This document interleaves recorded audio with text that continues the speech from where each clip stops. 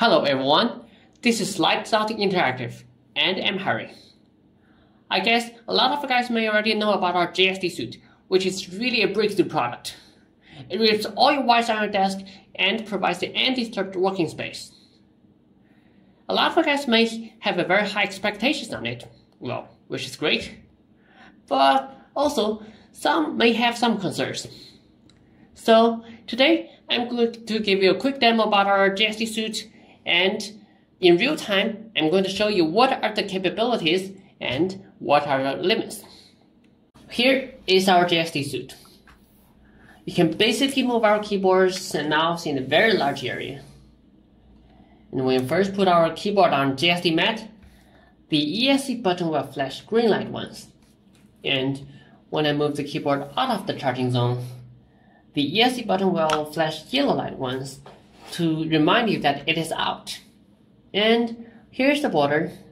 It flashes a little, but yeah. And here's the left. Here's the bottom. We have a pretty large charging area, but we recommend you to put a keyboard in the center to have a higher efficiency.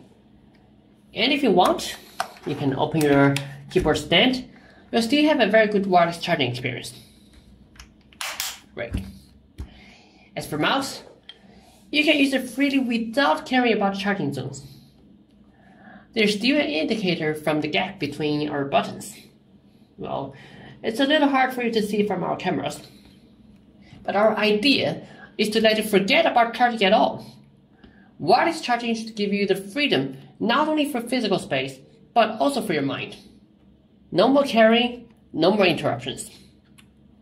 I'll take off the case to show you guys.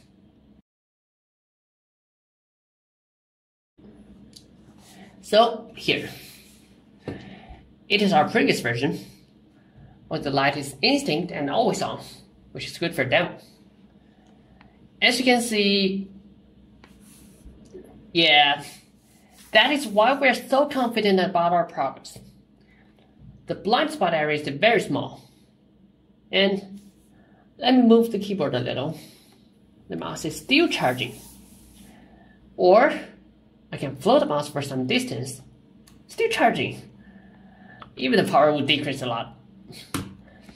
As for power, which a lot of you guys care about, you can't expect to charge your keyboard and mouse battery in just 3 hours. What you can expect is that you don't need to care about charging at all. The more close to the center, the more power you'll get.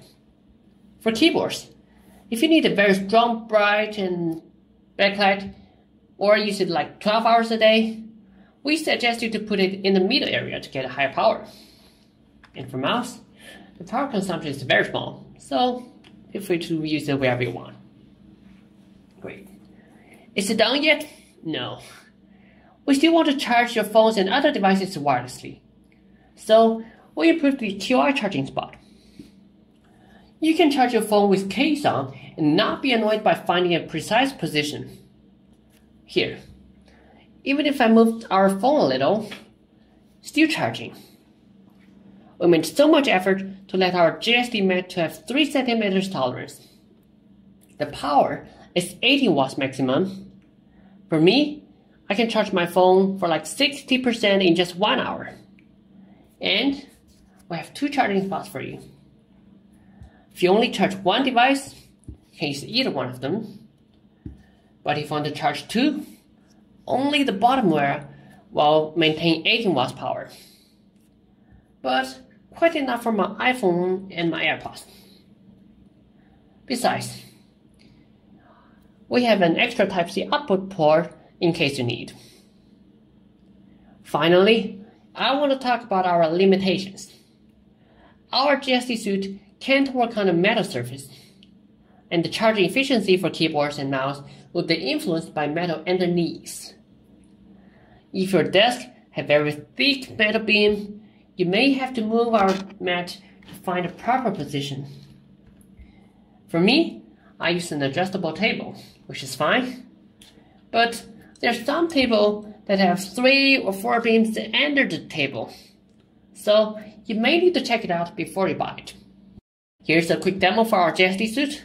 Hope you like it. See you next time.